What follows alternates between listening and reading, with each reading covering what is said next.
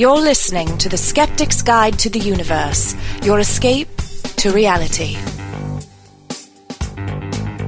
Hello and welcome to The Skeptic's Guide to the Universe. Today is Wednesday, November 28th, 2007, and this is your host, Steven Novella, president of the New England Skeptical Society. Joining me this evening are Bob Novella. Hey, everybody. Rebecca Watson. Hello, everyone. Jay Novella. Hey, guys. And Evan Bernstein. Good evening, everybody. Hey, How is everyone tonight? Good, Steve. Couldn't Quite be better. fine. Very good, but apparently you're not good, Steve. Oh, we'll, we'll get to that a bit later. Um, Jay's, re- Jay's referring to a recent Skeptico podcast, which talks about the Skeptic's Guide specifically. And we'll be getting that into the beginning of the email section of our show. But first, let's do some news items.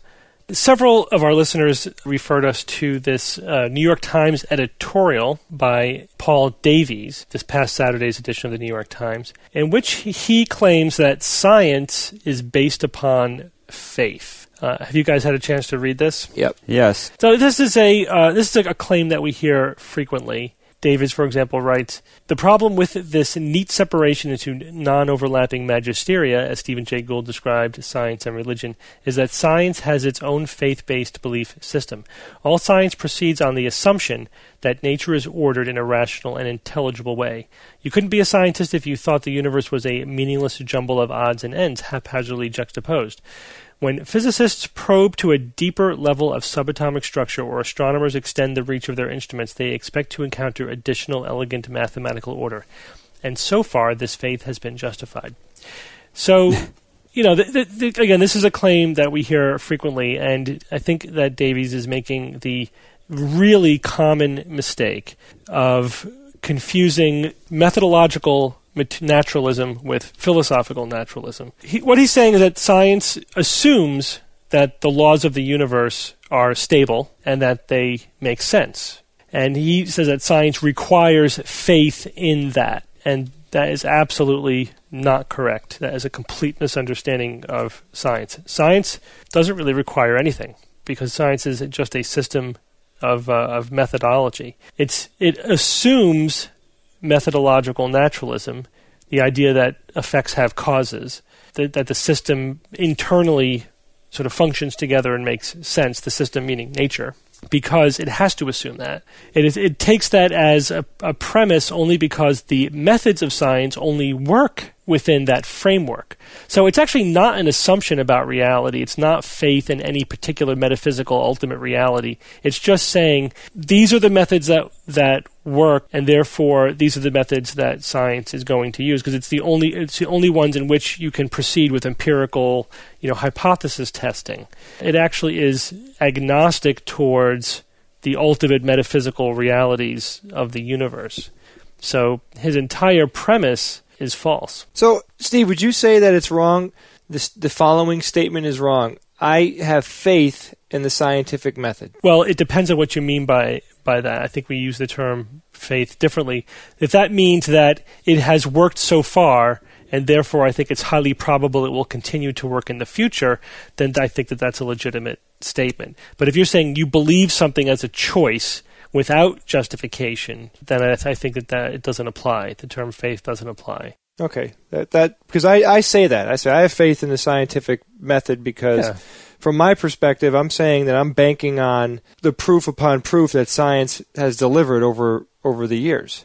Right. So, you know, we, we hear this a lot from the intelligent design crowd, uh, and I'm sure that they love these kind of editorials because this is this is their mantra, the notion that you have to have faith in the in, in science or faith in evolution, and that uh, they they've been complaining endlessly, and this is you know Philip Johnson who basically started in the intelligent design movement. This was his core premise was that science is should not be based upon naturalism, on the assumption of naturalism, because that's rigging the game.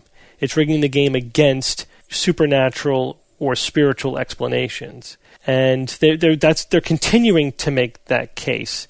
In fact, in preparation for our show tonight, I was listening to an episode of Skeptico, the podcast Skeptico from a few episodes ago, where he interviewed an intelligent design proponent. And that's what it was all about. It was all about scientists are assuming philosophical naturalism and they're not go they're not following the evidence where it goes. They're on, they're restricting their inquiry to naturalistic explanations, and that that's not fair. That's rigging the game. What, what that misses is that that methodological naturalism is not a choice; it's a necessity. We're not limiting the answers that we're willing to consider to the ones that fit our paradigm.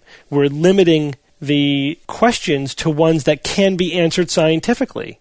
If you can't formulate your hypothesis in a way that it is that it can be tested, it can be falsified, then it doesn't meet the minimum criteria for being considered as science. That they totally do not get that at all. And that's true at on the spiritual end, like the intelligent design proponents, and it's true on the new age end, like you know Alex from Skeptico, because they were in complete agreement on this point that skeptics and scientists are feeding into their own assumption of of uh, philosophical naturalism, and it's completely untrue. What I don't understand is, you know, going back to what Carl Sagan said so eloquently, is that science delivers the goods.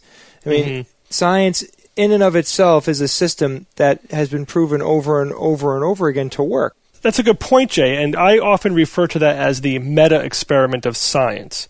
If methodological naturalism didn't work because our universe was hopelessly not rational or not not naturalistic, A, a causal. it was a causal or retrocausal, or the rules, the laws of the universe changed frequently, or could be suspended at random or by the whim of some some being.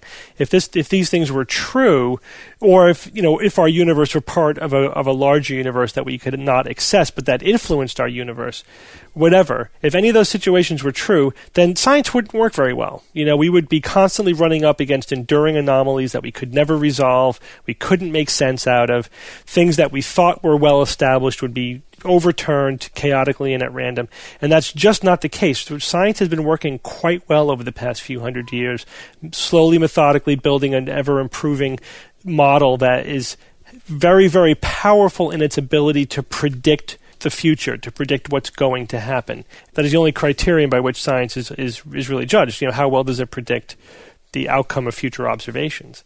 That and that doesn't prove philosophical naturalism, just like you can't really prove anything in science, right? Nothing is proven metaphysically in science. All we could say is that so far all the evidence is pointing in that direction.